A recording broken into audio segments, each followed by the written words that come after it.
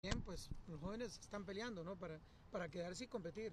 No, hay jugadorazos. Eh, eh, podemos ver que hay un, mix, ¿verdad? De jugadores con, con bastante experiencia y otros eh, bastante jóvenes, pero, pero los jóvenes están demostrando que son jugadorazos y están para jugar también, ¿verdad? Entonces, bueno, yo vengo, yo vengo a aprender de los dos porque hay jóvenes, hay unos jugadores que son mucho más jóvenes que mí, pero ya llevan más tiempo en la selección, entonces de ellos también tengo que aprender porque por algo están acá. Eh, entonces me parece un, un- un grupo muy bonito, eh, un buen mix que, que, bueno, se puede aprender de todos. Diego, un reto estos partidos de fogueo, porque aquí te vas a ganar o no la titularidad pensando ya en la Copa Oro. Sí, sí, yo, yo estoy tranquilo, ¿verdad? Ahí el profesor va a decidir cuándo darme minutos, si, si puedo tener minutos en los amistosos o eh, tranquilo a, a seguir haciendo lo que he venido haciendo. ¿Te ves jugando, sí? ¿Te ves de titular? No sé, yo me veo jugando porque es lo que quiero hacer, ¿verdad? Lo que quiero jugar, eh, pero como te digo, eso está afuera de, de mi alcance, si se me dan los minutos eh, voy a tratar de dar lo mejor. ¿Qué podemos decir?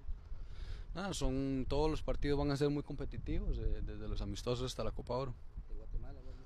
Sí, sí, es un buen equipo, siempre son eh, partidos complicados, ¿verdad? Eh, siempre se, se ha demostrado en eliminatorias que, que son partidos complicados. Diego, ¿sienten un peso especial? Porque estamos pidiendo hace rato un relevo. ¿Sienten un peso especial los jóvenes por llegar a este llamado y, y pensar en ser esa respuesta que necesitamos? Yo siento que siempre hay un peso de estar en la selección, sea la primera vez o si ya has tenido más llamados, eh, no puedo opinar por los otros compañeros, pero yo sé que, que con lo que me dicen ellos, que estar en la selección siempre, siempre viene con, con ese peso, ¿verdad? Entonces, eh, claramente sé que los, nosotros que estamos por, por primera vez o los que tenemos menos llamados, que tenemos esa, esa presión de hacerlo bien para, para poder seguir eh, siendo tomados en cuenta. ¿Cómo sientes el momento que estás viviendo competitivamente en tu equipo? Y evidentemente, Bien, amigos de Canario Network, estamos con Aarón Suárez eh, de la Liga Deportiva Alajuelense. ¿Cómo estás? ¿Cómo llegas a Los Ángeles?